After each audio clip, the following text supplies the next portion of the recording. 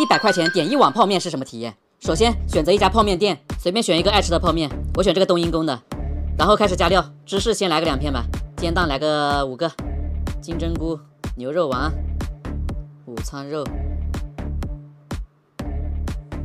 OK，一顿操作一百零二，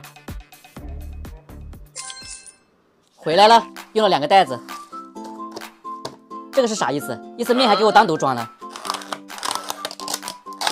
恕我直言，看着有点清淡啊，就像是用白水煮了两盆菜。搭配好了，大家觉得这样一碗面应该卖多少钱？来，粉丝先吃。